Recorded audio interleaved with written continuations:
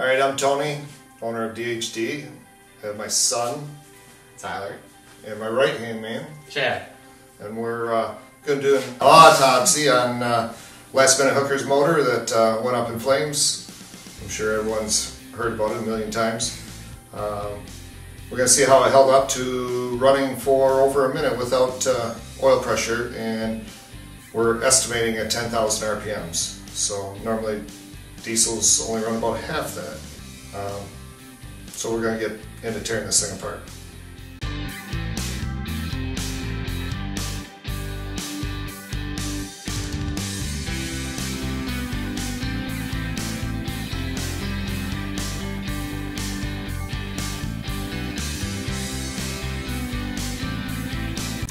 The charger normally sits almost exactly right there in the stack. Tyler, put stack up there. And uh, the charger was spinning about 112,000 RPMs when it let go. Drive pressure and boost was all within check. But the charger decided to let go. Just shrapnel, you can take a look at that stack. Um, just made a mess. So you can see this uh, exhaust housing on this charger here. Not so nice. Alright, if you want to come over here, I'll show you what had happened when that charger let go. So the charger had such a explosion, severed the wires on the fuel pressure regulator, uh, causing the CP3 pumps to run wide open. Then uh, a fragment of the exhaust housing hit this high pressure line and broke it right off of the fuel rail. And as you can see right up into the intake, it knocked a pretty good hole in there. So what we had is, after the explosion, we had these two CP3 pumps, two 14 millimeter Exergy pumps running wide open, spraying fuel up into the hood and down into the motor, and that's what caused the motor to run on wildly. So it was running on diesel fuel that was pumping out here, and there was no way of shutting it off. So we're going to uh, start tearing it apart, and we'll see what it looks like inside.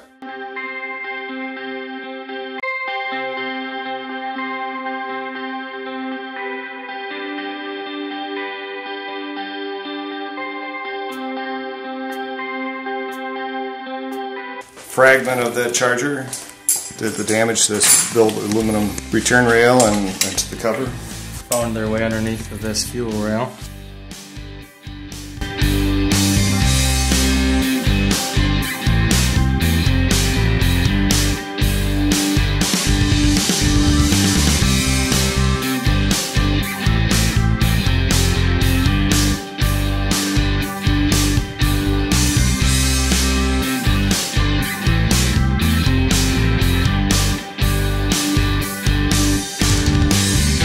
Looks like in the, the rear of the motor. We removed the rear engine plate so we could put that on the motor that is actually in the truck.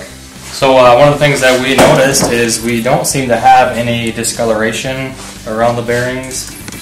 Um, no evidence of stuff coming out of them. We're kind of hoping we're going to find that we don't have a whole lot of trouble here, but uh, we'll find out here shortly.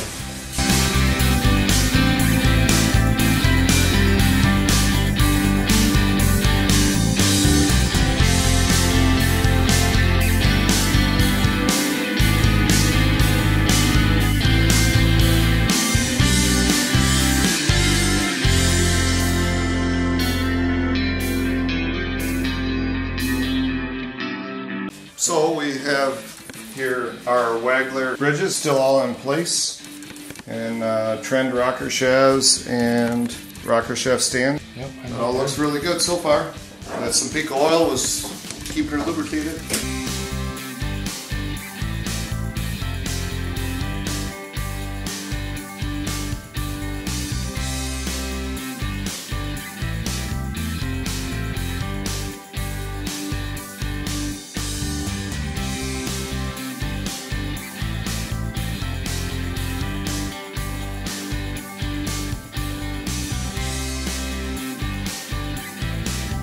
So we take a peek at to the pistons, and I have to say that the valves never contacted the pistons. So the Wagler heads took those high RPMs without damaging that at all. The rods a little bit where the rods or the pistons just contacted the head a little bit, not too much.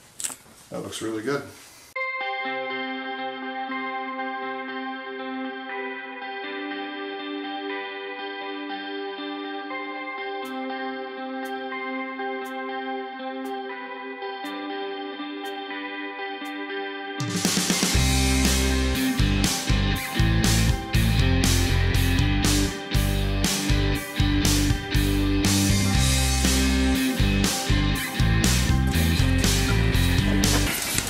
You can see, hold on, bud.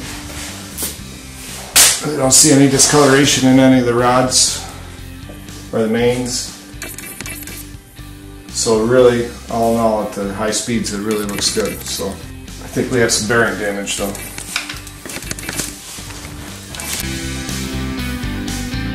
Impressively, the CenPeCo held it together at that crazy high RPMs with no oil pressure. As you can see, there's still a really good oil film on here.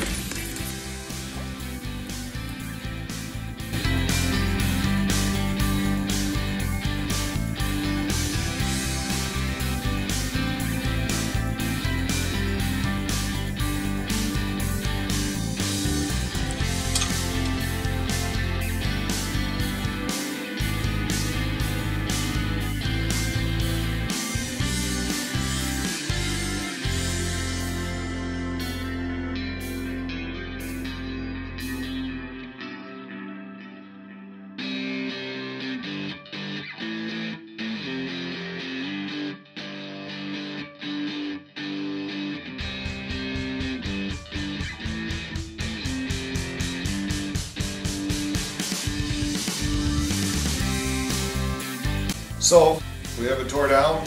The motor that run possibly 10,000 RPMs for a minute with no oil pressure.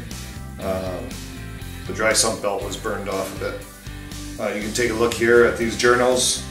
The oil film, the CenPeCo 2050 race oil is still, the film is all still on the crank yet. The crank spins beautiful. Um, there'll be no problem here. We'll have this thing back up and going in no time. The rods, they show a little wear on the bearings, but overall, I would say they're in perfect shape for what it went through.